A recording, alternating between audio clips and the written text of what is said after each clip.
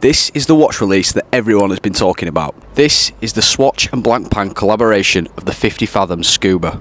Each of these watches are named after one of the world's oceans, and the colourways are actually inspired by sea slugs.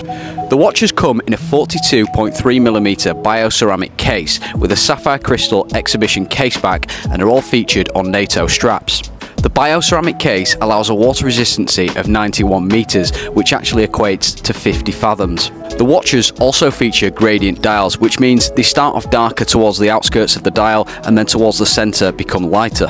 Each dial is also coated with superluminova both on the hands and the markers. Moving on to the movement now, Jean-Claude Biver always said that Blancpain would never make a quartz wristwatch, which is why this watch houses the System 51 automatic movement, allowing 90 hours of power reserve. Overall, I think this is a really cool release from Swatch, and at the price point that it's at, it allows a younger audience to explore the brand and enjoy watches as we all do.